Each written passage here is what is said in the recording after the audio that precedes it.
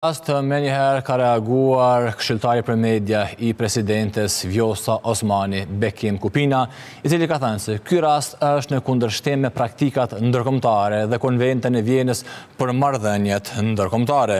Në vijim do ta sjellim të plotë reagimin e Kupinës i cili pra ka thënë se përkundër shpjegimit të rregullave që ekipi i presidentes ia ka bërë të ditur zyrtarit të aeroportit ai ka tentuar fizikisht ta shtyjë presidenten, me ç'rast është detyruar që të reagojë Policia e Kosovës për ta hapur rrugën.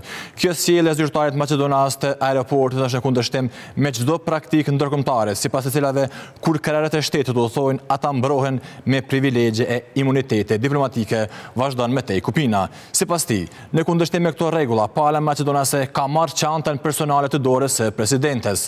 Edhe pse kjo ishte kundër rregullave ekipi i presidentes e ka lejuar në mënyrë që presidentja të hyjë në aeroport, konkretisht në sallën VIP e cila ishte rezervuar me notë verbale të ambasadës sonë siç është praktika për udhëtimet e krerëve të shtetit. Mirëpo për arsye të sigurisë në asnjë mënyrë nuk është lejuar që të dorëzohet telefoni personal. Sjellja arrogante dhe e dhunshme e zyrtarit të aeroportit të Shkupit Është e paprecedentë dhe nuk ka ndodhur asnjëherë në asnjë udhëtim të presidentes kudo në botë, përfshirë në shtete jonjohëse. Vërehet qartë se në rastin në fjalë, kishte tendencë për ta provokuar delegacionin e Republikës së Kosovës dhe për të shkaktuar incident, vazhdon më tej Kupina.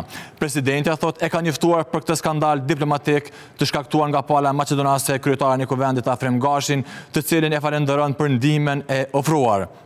Ai më tej shton se vlen të përmendet se pas hyrjes në prez, së presidentes në aeroplan, aeroporti i Shkupit nuk e ka lejuar pra aeroplanin komercial të niset edhe për më shumë se një orë, me pretekstin se shteti slloven nuk po e lejon nisjen për shkak se nuk do të ishte gati për aterim.